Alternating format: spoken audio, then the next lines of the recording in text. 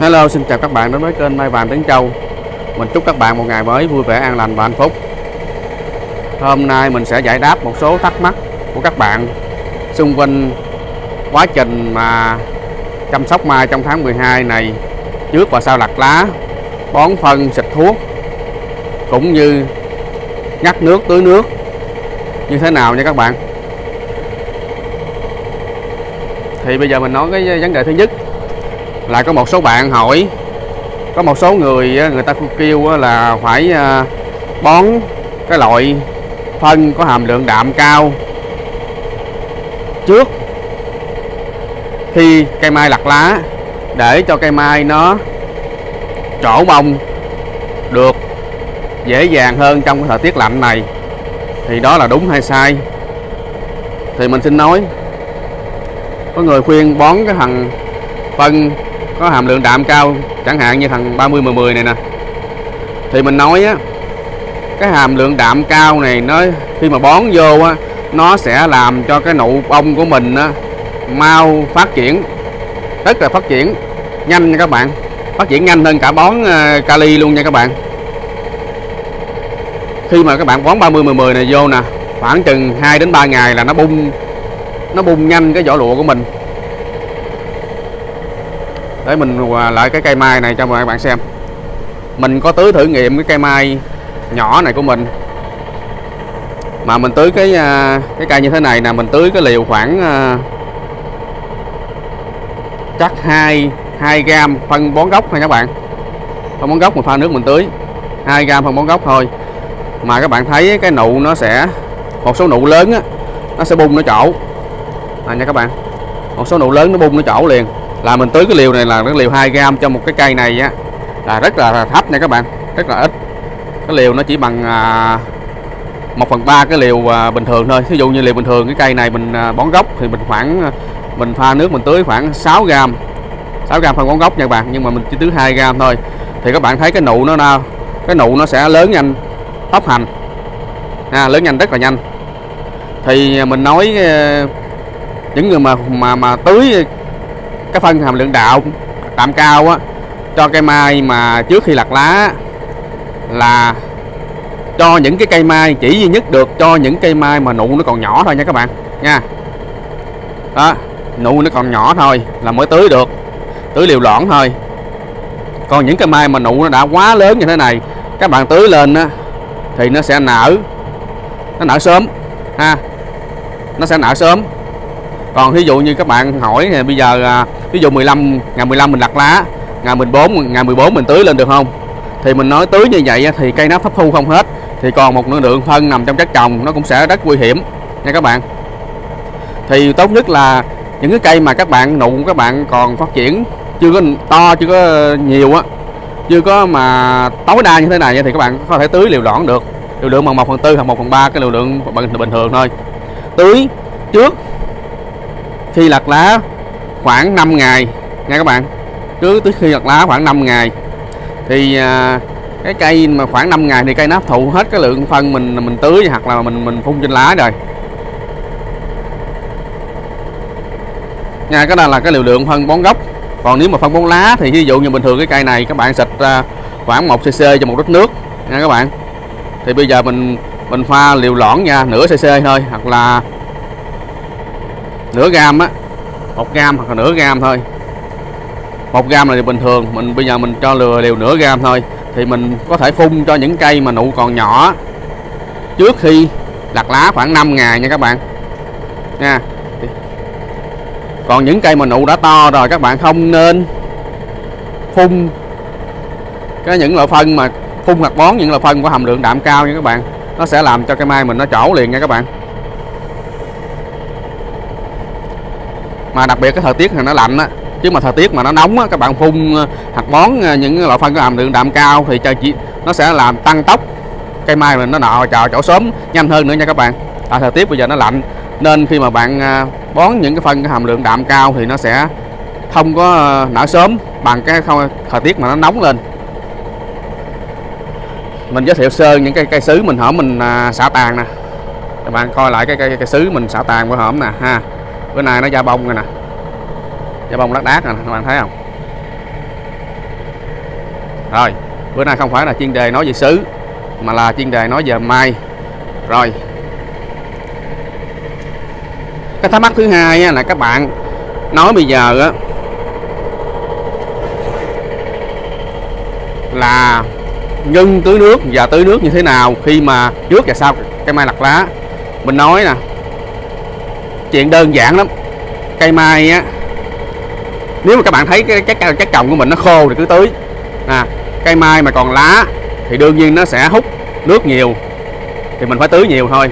Còn cây mai mà ít, không không còn lá hoặc ít lá, khi mình tước lá rồi cây mai nó không còn lá thì nó đâu có hút ờ, nước nhiều đâu. Nó hút ít lắm. Hoặc là nó chỉ bốc hơi do chất trồng mình, cái không khí nó bốc hơi thôi thì nó mất đi một lượng nước không có đáng kể thì khi mà lặt lá rồi thì các bạn nên chỉ tưới sơ sơ, sơ thôi. 2 đến 3 ngày tưới một lần thôi. Nha các bạn có thể phun lên lên tàn tàn nhánh luôn. Cái đó là quy tắc. Thì bây giờ thường mình làm là mình chỉ ngắt nước một ngày trước khi lặt lá thôi. Ví dụ ngày 15 là mình tuốt lá mai mình lặt lá mai thì mình ngày trong ngày 14 mình không có tưới nước. À, trong ngày 14 mình không có tưới nước là qua ngày 15 mình sẽ lặt lá. Rồi khi lặt lá xong á thì mình phải sẽ dùng dầu nước á. Sau khi lặt lá xong á ngày 15 á mình dùng dầu nước mình phun tàn là xin, xin lỗi phun lên tàn nhánh. Lúc đó không có lá nữa phun lên tàn nhánh thôi. Phun lên sơ sơ sơ sơ cho nên nó rửa những cái ờ, cái gì mà nó còn bám bám trên thân nụ đó. Bụi bặm rồi đó. Hoặc là những cái là sâu trứng của ờ, côn trùng nó còn bám cho đó nó sẽ rơi ra ngoài bớt đó. Mình phun lên. Như vậy xong rồi thì hả? Để cho nhánh tàn nó khô lại, mình có thể xịt có thể xịt thuốc trừ sâu liền trong ngày đó. Hoặc là để qua ngày sau mình xịt. Thì mình nên nói là khi mà lặt lá xong, các bạn nên xịt thuốc trừ sâu hai lần, cách nhau 5 ngày là được, ha. Thuốc trừ sâu, cái loại mà chờ trị bỏ chỉ nha các bạn. Corfidor hoặc là Radian rồi đó. Còn à, một số bạn hỏi ngắt nước trước 3 ngày thì để làm gì? Ngắt nước trước 3 ngày khi trước 3 ngày lặt lá bạn. Thí dụ như mà người ta muốn 15 ngày 15 âm lịch người ta lặt lá thì người ta ngắt nước à, bữa 12 13 14 để làm gì? Thì ngắt nước 3 ngày đó cũng là có cũng có nguyên nhân nha các bạn chứ không phải không đâu. Thì ngắt nước như vậy á, thì là cái cây mình nó sẽ thiếu thiếu nước. Tại vì lúc đó cái lá nó còn thì nó sẽ hút nước làm cho cái cái bộ rễ của mình nó sẽ khô nước ha khô nước. Thì lúc đó là cái nhựa cố tình làm cho cái nhựa nó cô đặc lại. Cái nhựa trong cái cây á bạn nó cô đặc lại. Lúc đó lá nó sẽ trả chất về cho cho thân làm nhựa nó cô đặc lại. Thì khi đó lá nó trả chất về cho thân á, thì đó áp dụng cho những cái trường hợp cái cây mai mà lá nó còn non mơn mởn như thế này nè các bạn. Lá nó còn quá non. Nè các bạn lá nó còn quá non còn xóa xanh xanh như thế này nè là người ta có thể ngắt nước 3 ngày để mà cho lá mà nó khằn lại. Ha, nó trả chất về cho cho cho cho, cho, cho thân để mà nó nuôi cái nụ ha, để nào cái nuôi nó nụ nuôi cái nụ lên để mà cái nuôi cái nụ lên rồi sau đó người ta mới lặt lá. Cái quy tắc là như vậy. Còn đối với những cây mai mà nó đã sậm như thế này nè thì các bạn không nên ngắt nước 3 ngày nha các bạn. Đó không nên ngắt nước 3 ngày. Rồi thêm một cái trường hợp là người ta rong lá thì người ta rong lá để làm gì? Rong lá có nghĩa lặt bớt ờ, khoảng 30 đến 40 phần trăm số lượng lá trên cái cây. Thì mục đích để rong lá là cũng vậy. Để mà cho dinh dưỡng nó không còn nuôi lá nhiều nữa để cái dinh dưỡng đó nó nuôi nụ cốt lõi là để cho cái nụ nó nó mập lên các bạn. Đó. Thì mình phân tích những cái vấn đề mà thắc mắc của các bạn. À, là người ta ngắt nước 3 ngày để làm gì? À, chỉ ngắt nước 3 ngày cho những trường hợp cái cây mai mà của người ta nụ nó còn nhỏ lá nó quá xanh như thế này thì ngắt nước. Ngắt nước 3 ngày trước khi lặt lá thì nó sẽ không ảnh hưởng gì tới cái cây mai nhiều đâu. Còn người ta rong lá cũng vậy. Rong lá là để cái chất dinh dưỡng. Nói chung là cái chữ nhựa trong thân mình nó nó không không còn nuôi lá nữa. À, cây nó không còn nuôi lá nữa. À nó nuôi ít thôi. Rồi rong lá bớt khoảng 30 đến 4 phần trăm để nó dồn cái lượng nhựa đó nó nuôi nụ lớn lên. Là đối với những cái cây cũng là trường hợp cây nụ còn nhỏ ha. Nụ chưa chín mùi quá còn những cái cây mà đã nụ những nụ đã chín mùi như thế này rồi nè thì các bạn không nên áp dụng cái phương, phương pháp rong lá à, ngắt nước 3 ngày nha các bạn. Hoặc là bón phân à,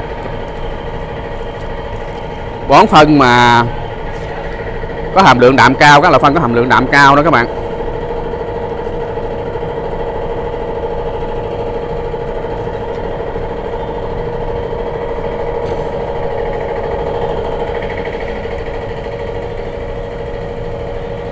Thì à,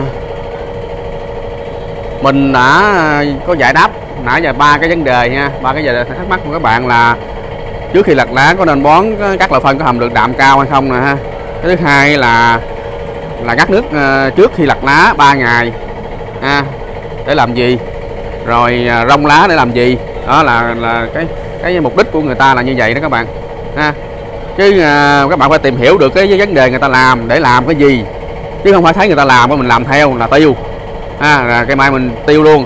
Giống như thấy cái nhà vườn người ta bón phân bón phân vậy mình bón theo là cây mai người ta sung càng ngày càng sung mà cây mai của mình càng ngày càng yếu là như vậy. À, nó phải có cái mục đích nguyên nhân à, áp dụng cho những trường hợp cho những cây mai như thế nào. Ha mình không có áp dụng cái kiểu như mà con vẹt được. Mình phải hiểu được cái vấn đề. Mình mới làm. Ha các bạn mà không hiểu được vấn đề mà các bạn làm á thì à, là cây mai mình nó hư hết.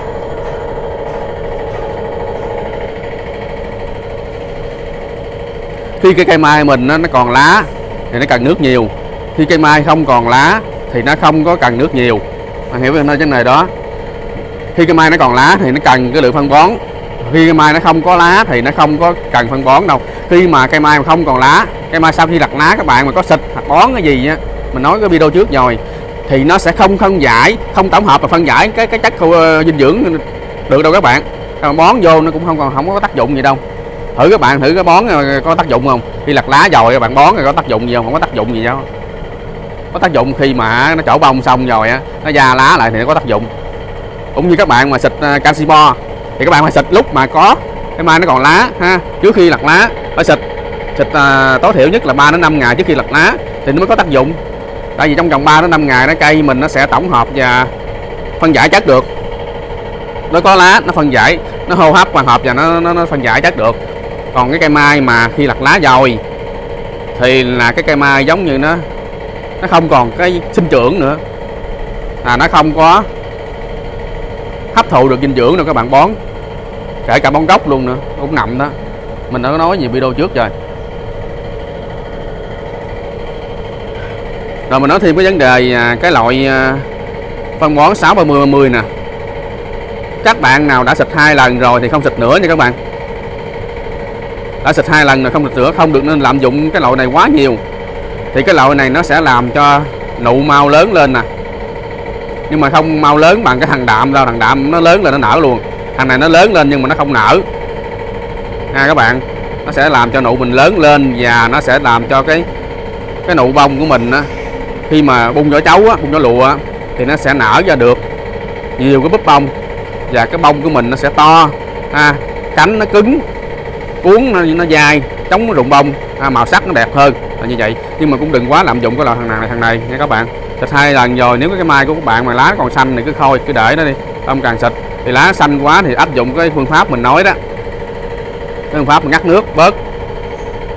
Rồi lặt lá thì à, có nhiều bạn nói à, ngắt nước à, lặt lá dễ hơn hay là là tưới nước lặt lá dễ hơn. Thì mình nói á ngắt nước á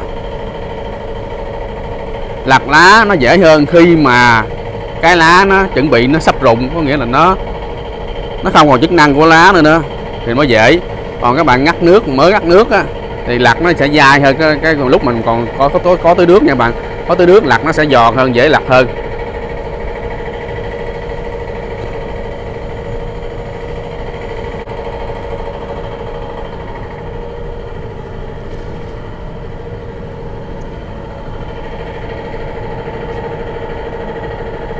Các bạn à, hỏi đa số là cái vấn đề tư vấn về cái lặt à, lá mai ngày nào.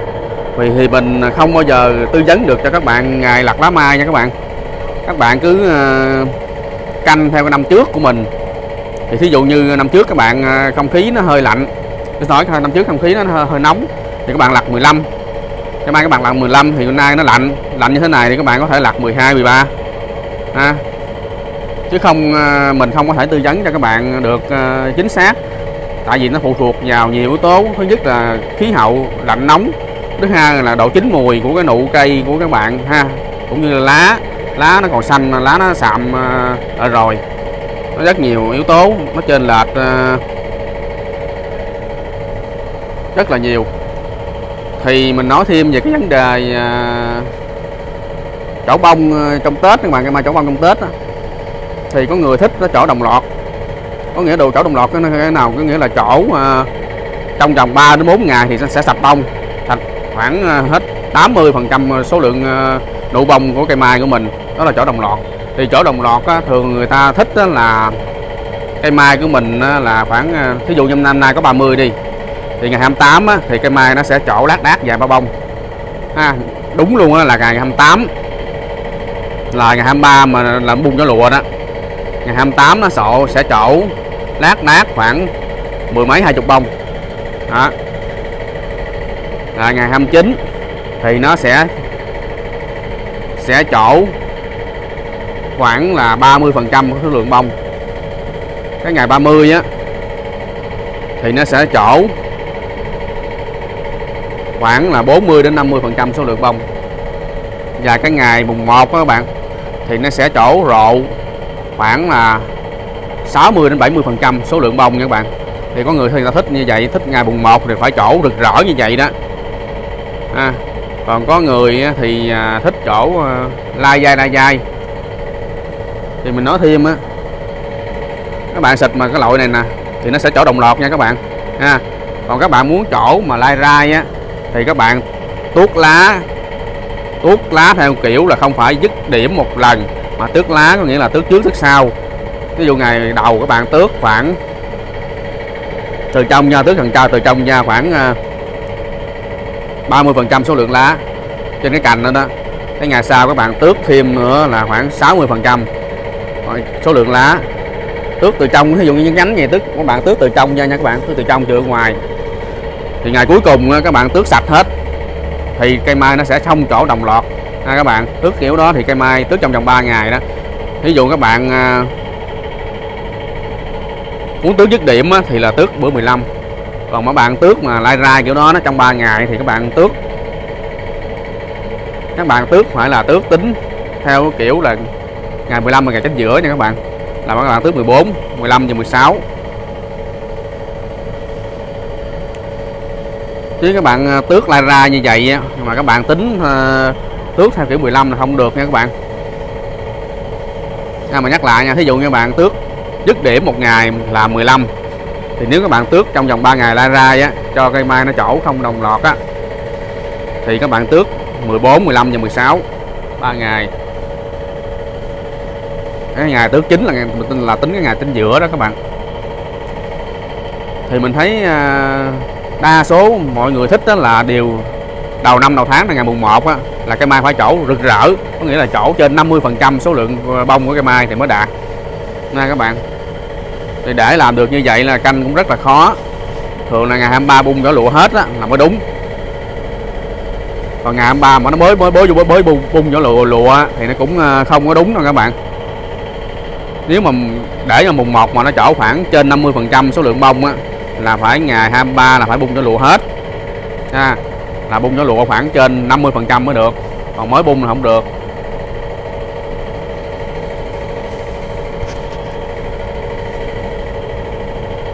Còn à, ví dụ như mà những cây mai mà chín mùi như thế này nè các bạn muốn mà nó trổ lại ra cũng khó. Nha các bạn cái mai mà nó quá chín mùi thì các bạn cho dù các bạn lặt lá kiểu 3 ngày như mình nói á, thì nó cũng sẽ trổ đồng loạt thôi. Nó không có trổ lại ra được đâu nó quá chín mùi rồi thì nó sẽ chỗ đồng loạt hơn là những cái mai xanh như thế này nhưng mà cái độ lặt lá 3 ngày thì nó chỗ đồng loạt này nó cũng sẽ không ờ, không được bằng, không được bằng một xíu ờ, so với mình lặt lá một ngày thôi. Nhưng mà nó vẫn chỗ đồng loạt nha các bạn. Thì nó quá chín mùi, những cái mai chín mùi rồi nó chỗ đồng loạt ghê lắm. Thì mà nói thêm ờ, các bạn á, là mình, cây mai của mình thì phải thuận theo tự nhiên.